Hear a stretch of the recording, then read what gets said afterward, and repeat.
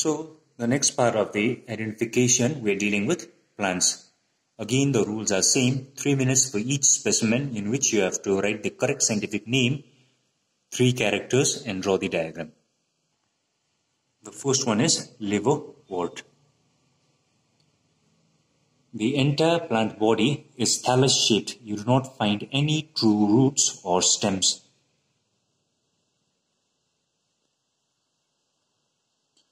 The next is moss. Its scientific name is Funaria. Its plant body has been differentiated into roots and stems, but actually it is not the true roots or stems.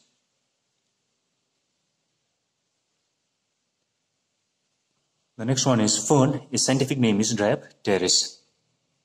Ferns have true roots and stems, and in this case, you'll also find tiny brown hairs called ramenta.